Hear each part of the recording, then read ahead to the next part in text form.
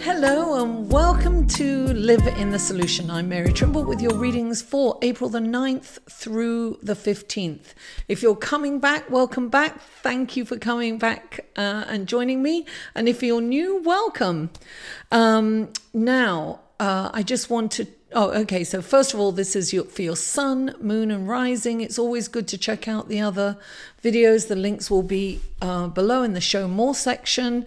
This is a general reading, guys. If you'd like a personal reading, um, you know the information will be there, and all kind of through the video at different points, you can click on something. I don't know somewhere. Can't quite remember where it goes. Um, so thank you so much for those of you who, who've got uh, personal readings. I really appreciate you, and I really enjoy doing them. Now, um, thank I want to thank my patrons too. I have a Patreon page that I just started up. There's links on my uh, YouTube channel, or there'll be links in the video and down below. You can check that out. You know, it's another way of supporting me. Uh, now, a little bit about the astrology. Um, now, between the 7th and 10th, well, this is for, you know, this is for the 9th through the 15th, we've got this lovely energy of Venus trining Saturn and Mars. So that's kind of a really nice energy. So we're going to feel that at the beginning of the week. And then on April 14th, we have well also i do have to say that the at the same time the sun is squaring pluto so that's a little challenging and it's about look when the sun uh, squares pluto uh, particularly at this time i think a good question to ask yourself is what because Pluto is about the hidden things, right?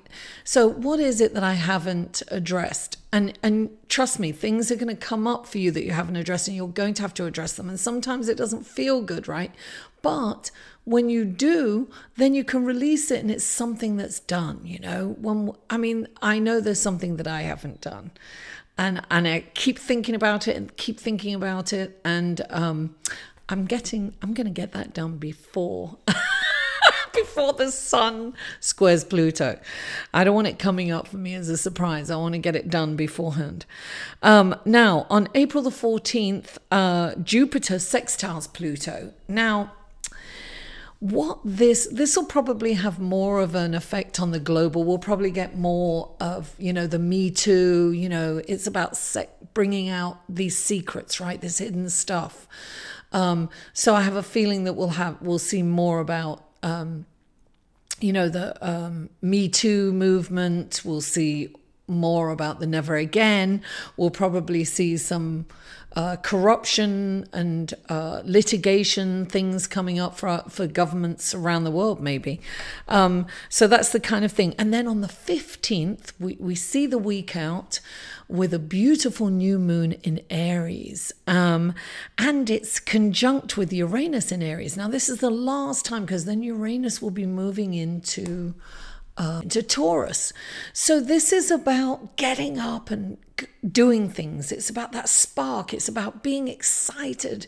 You know, Aries is that fiery passion. So we're going, it's a really good well and it's a new moon so it's a really good time to start things and definitely you know intentions following things through. And we're going to have that feeling of hope and spring and it's it will be exciting. So that's a really nice energy to end the week.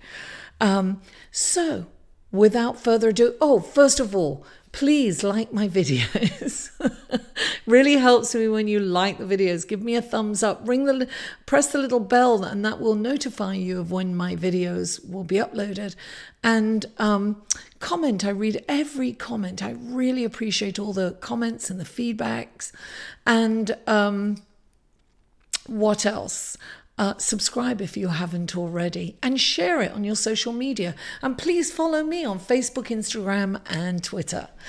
Thank you for tuning in. And now let's go to your readings. Hello, Sagittarius, and welcome to your reading for uh, April the 9th through April the 15th. it's getting late. Um, the first card that comes up for you guys is Temperance. You know, that just means, look at that, it's lovely. It just means, listen, the mantra for temperance is everything in moderation.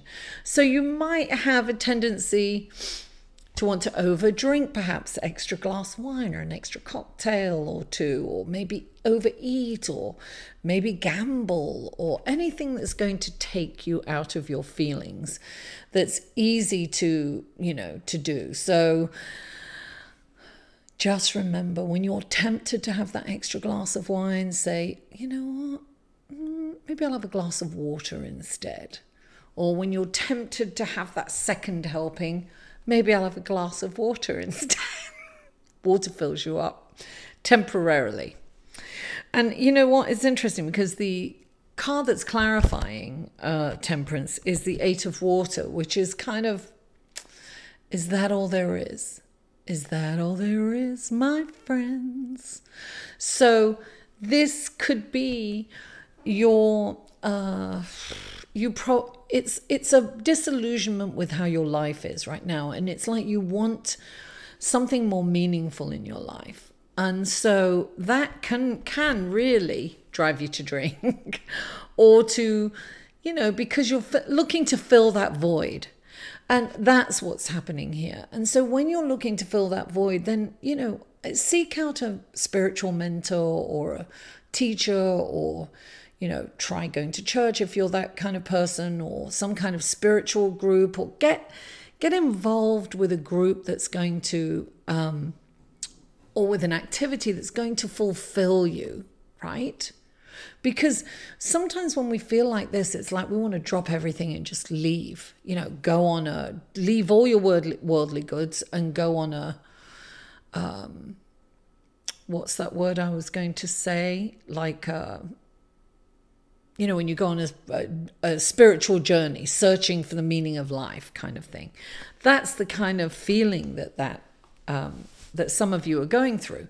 Now, the next card that we have is the Eight of Pentacles, which is actually known as the Apprentice card. So it's saying, listen, maybe it's time to go back to school, right? Maybe that will fulfill you. Maybe there's something that you want to learn. Maybe you know, maybe that's what you're supposed to do. You know, this is a good time to study and to and to bring something else into your life that feels more meaningful and it gives you a purpose in life right? And clarifying it as the queen of water. Yes darling yes do all that. Um, don't forget to take care of yourself because sometimes you can get so busy and you can be there for other people and you're doing so much that you can forget to take care of yourself and when she comes into a reading, it's saying, darling, you, you know, don't forget to look after yourself. Don't forget that you're important too. And yes, everyone around you is important, and it's important to help people and be there for them. But you can't be there for them if you haven't taken care of yourself and you're not feeling good, you know? And then you've got the Ace of Cups. My cup floweth over. This is kind of a new, this could be a new friendship, it could be a new lover. Um, it could be your relationship, you know, being infused with some, you know, falling in love all over again. It's a nice, deeper, meaningful connection. So I think that that's what you're going to get. Now, clarifying it though is the Ten of Fire. So it's the same thing almost as this, right? The ten of fire is you've taken on too, you're doing too much, you've got too much responsibility, and now's the time you've got to ask for help. And in asking for help, you will get a very deeper connection with those around you. I feel that this is a really good time to ask for the help that you need. Don't be a martyr, because sometimes with this card, you can be a martyr. It's like, no, I can do it, I can do it, I can do it. And also, this can be kind of control. You want to control what's going on. The problem is when you take on that much, you can't look, she's got all these things on fire, you know, and she's doing this whole almost juggling. But you know, one one miss and the whole thing can go up in flames. So, you know, it's very important to delegate when you've got when this card comes into it. I feel that look, this is what you have to remember.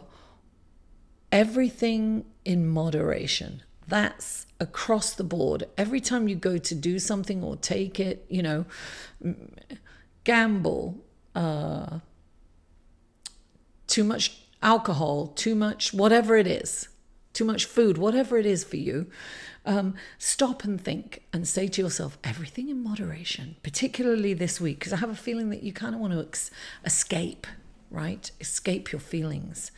And, you know, relax, delegate. Maybe someone won't do as good a job as you, but guess what? It'll get done. You know, you don't have to be a perfectionist this week. Just allow, just allow, be allowing.